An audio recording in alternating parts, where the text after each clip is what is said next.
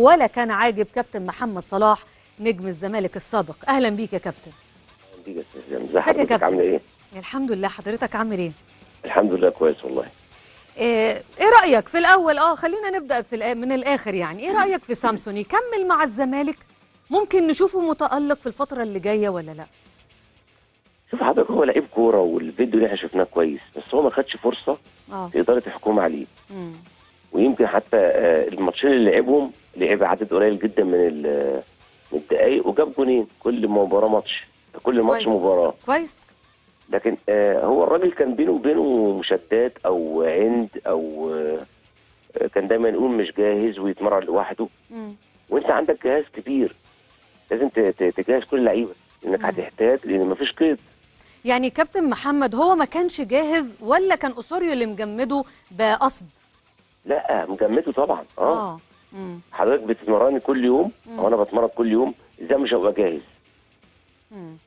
وحضرتك لما جه وجه عبد الله جمعة وجه عبد الشافي وليه كان بيمرنه لوحده ما هو أنا بقول لحضرتك هو كان عنده عيب مم. عنيد قوي وفاكر نفسه إن هو آه، فوق الجميع آه مع إنه هو لازم يعرف إن هيستخدم كل الأدوات اللي عنده من اللعيبة. لازم كان يستقطبهم ليه ويبقى في بينه وبينه آه، محبة في ناس ما كانش بتحبه وهو ما كانش بيحب ناس فكان مم. بعيد كان في حب وكره. يعني آه كنا لسه بنتكلم في الموضوع ده مع الحاج عامر حسين وغالبا الأجانب بيبقى عندهم الحتة دي يعني آه آه، تاني حاجة هو ما, ما يعني أنت تمرني وتخليني فت وبعدين تحكم عليا في الملعب ده ما. حصلش بالنسبة للعيبة دي خالص مم. هو ده مش آه، ما يرجعش من الإعارة يمشي فلان على فكرة هو كان حاطط محمود علاء في دماغه. وكويس إن مشي إن محمود آه، بيزهق بسرعة وياخد انذار وبعدين ما يلعبش وبعدين ما يلعبش الماتش اللي بعديه ومشاده بينه وبين الجهاز. فكان. في بعض اللعيبة فيها توتر في العلاقة اللي بينهم وبين بعضهم آه آه. طيب أنا عايزة أسألك سؤال يا كابتن محمد. هو دلوقتي لو لعب في الفترة اللي جاية دي مع الزمالك بشكل أكبر من السابق هل ممكن نعتبره فعلا صفقة جديدة؟ ممكن فعلا يعني حد زي حضرتك كده شايفه إنه ممكن فعلا يتألق في الفترة اللي جاية؟ طبعا لو اتعامل كويس هيبقى هيبقى يعني هو مع مع سيف الجزيري و وناصر منسي هيعمل طفرة في الناحية الهجومية. آه. وهو جاي مشتاق للعب هتاخدي منه أقصى حاجة هو يقدر يعملها لي. وعايز يثبت للناس اللي اللي فاتت أو لسوريا أو للجمهور إن هو اتظلم صح. فدي هتبقى في كل ده الحاجات دي كلها هتبقى مصلحه الفرقه الانظار ومصلحه كلها الناس تبقى عليه. آه طبعا. مم. وخلي خلي بالك مفيش حد بيجيب جون صدفة إلا لما يكون عنده موهبة بيتمرن عليها آه بيتحرك كويس. ويمكن هو في زي ما قلت لحضرتك في في أقل وقت جاب جونين. ودي ما بتحصلش مع ناس كتير. يعني في واحد ممكن يلعب 10 ماتشات ما يجيبش جون. فدي ممكن تكون ملكه عنده. المفروض معتمد والجهاز اللي معاه يطور له اللعب ده ويثبت هو بقى يثبت للناس انه كويس. إيه رأيك في فكرة تأجيل أزمة رفع القيد مع لنهاية الموسم ده مفيش فلوس أعتقد أو آه، آه، إحنا عندنا مشاكل مالية كبيرة جدا ربنا يكون في عون المجلس.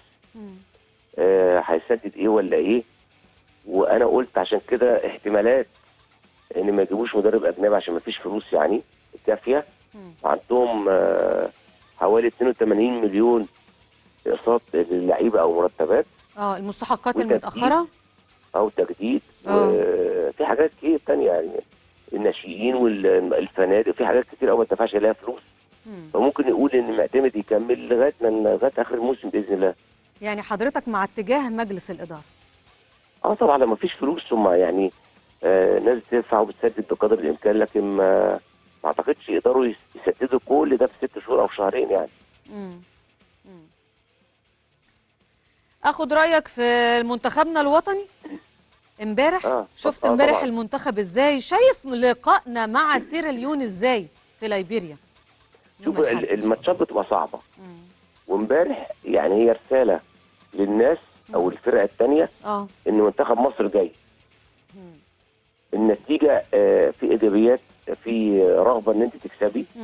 في رغبة إن أنت تجيبي جون واثنين وثلاثة وأربعة الحمد لله مم. ممكن السلبيات آه، بعض اللعيبة بعض اللعيبة بعد خمسة وستة عايزين يجيبوا جون يعني نوع من الأنانية بس نوع حميد مش مش وحش آه السلبي الجماهير اللي ما بتجيش عايزين نعرف ما بتجيش ليه حتى امبارح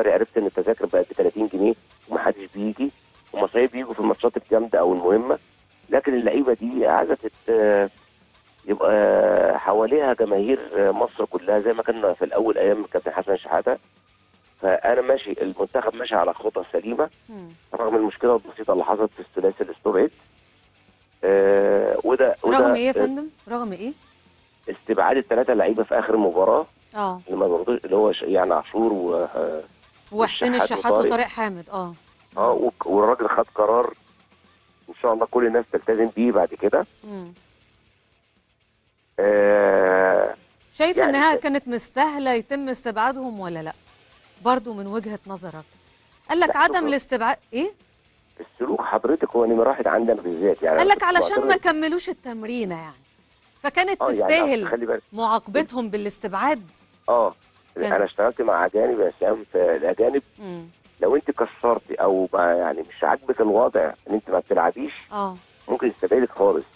ده في كل المجالات يا كابتن محمد مش بس في الكورة. ماشي يا آه ريت يا يعني ريت صح. يعني.